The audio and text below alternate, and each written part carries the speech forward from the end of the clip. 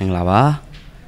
ပြည်သက်ကြီးအားလုံးပဲအ ခုတင်ရုပ်ခါသမီးရောက်ရှိလာပြီဖြစ်တဲ့အတွက်အားလုံးစိတ်ချမ်းသာခြင်းကိုယ်ချမ်းသာခြင်းနဲ့ပြည့်စုံနိုင်ကြပါစေ။ကောင်းကျိုးလိုဆန္ဒတွေပြည့်စုံပြည့်ဝကြပါစေ။ကိုချစ်တဲ့ကိုခင်တဲ့ကိုကိုချစ်ခင်တဲ့မိသားစုတွေနဲ့အတူပျော်ပျော်ရွှင်ရွှင်တိုက်တိုက်ဝန်းဝန်းနေနိုင်ကြပါစေ။ကိုပေါ်ကျေးဇူးရှိဘူးတဲ့ဆရာသခင်ကျေးဇူးရှင်တွေအားလုံးပေါ့နော်။တင်ရုပ်မှမဟုတ်ဘူးအမြဲတမ်းတော့ခါတော်ကတရားရှိရမှာပေါ့။ဒါပေမဲ့အခုတင်ရုပ်ခါသမီးရောက်ရှိလာပြီဖြစ်တဲ့အတွက်ကိုယ့်ရဲ့ဆရာသခင်ကျေးဇူးရှင်တွေကိုယ့်ရဲ့မိဘအဖိုးဘွားတွေအားလုံးပေါ်မှာယူဒီခါတော်ကပြုနိုင်တဲ့တင်ရုပ်ခါသမီးလေးမင်္ဂလာရှိတဲ့တင်ရုပ်ခါသမီးလေးဖြစ်ကြပါစေလို့ ဆုမကောင်းတောင်းပေးပါတယ်။